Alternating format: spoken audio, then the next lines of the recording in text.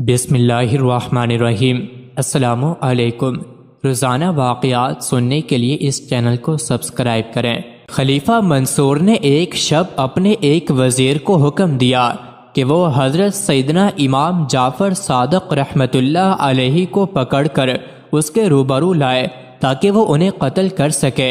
वज़ीर ने खलीफा मंसूर से कहा कि वो सादिक जो गोशा नशी होकर याद इलाही में मशगूल है और किसी गैर से उसका कोई ताल्लुक नहीं है। उसको कत्ल करना दुरुस्त न होगा। खलीफा मंसूर को वज़ीर की बात सुनकर गुस्सा आ गया और उसने गजबनाक लहजे में वज़ीर से कहा कि मेरे हुक्म की तामील तुम पर फ़र्ज़ है। वो वज़ीर मजबूरन हज़रत सैदना इमाम जाफ़र सादक रहमतुल्लाह अलैहि को लेने चला गया। खलीफा मंसूर ने जल्लादों को हुक्म दिया कि जिस वक़्त मैं अपने सर से ताज उतारूं तुम उसी वक़्त हज़रत सईदना इमाम जाफ़र सादक रहमतुल्लाह अलैहि की गर्दन उड़ा देना। जिस वक़्त वो वज़ीर हज़रत सैदना इमाम जाफ़र सादक रहमतुल्लाह अलैहि को लेकर दरबार में पहुँचा तो खलीफा मंसूर आपकी अजमत से इस कदर मुतासर हुआ कि तख्त से नीचे उतरा और आप रहमतुल्लाह अलैहि का वालिहाना इस्तकबाल किया और आपको मसनत पर बिठाने के बाद हाथ बांधकर खड़ा हो गया और अर्ज़ करने लगा कि मुझे खिदमत का मौका दिया जाए। हज़रत सैदना इमाम जाफ़र सादक रहमतुल्लाह ने फरमाया, कि आइंदा मुझे मत बुलाना और मेरी इबादत में खलल पैदा न करना। खलीफा मंसूर ने आप रहमतुल्लाह की बात सुनने के बाद आपको नहायत इज़्ज़त एहतराम से रुखसत किया। हज़रत सईदना इमाम जाफ़र सादक रहमतुल्लाह के जाने के बाद तीन दिन तक खलीफा मंसूर पर लर्जा तारी रहा। और वो मुसलसल बेहोश होता रहा।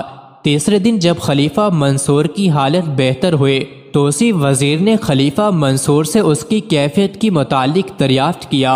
तो खलीफा मंसूर ने कहा कि जिस वक़्त हज़रत सईदना इमाम जाफ़र सादक रहमतुल्लाह अलैहि महल में तशरीफ़ लाए तो मैंने देखा कि एक बहुत बड़ा अजदा मुँह खोले उनके साथ है। और वो मुझे इशारे से कह रहा है कि अगर तूने हज़रत सईदना इमाम जाफ़र सादक रहमतुल्ला अलैहि को कुछ भी तकलीफ़ पहुंचाई तो मैं तुझे निगल जाऊँगा।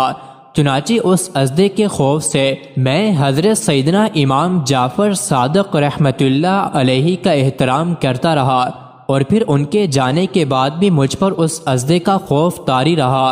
एक मरतबा हज़रत सैदना इमाम जाफ़र सादिक रहमतुल्लाह अलैहि कहीं जा रहे थे और ज़ुबान पर ज़िक्र इलाही जारी था कि उस दौरान कोई दिल जला आदमी आपके हमरा हो लिया।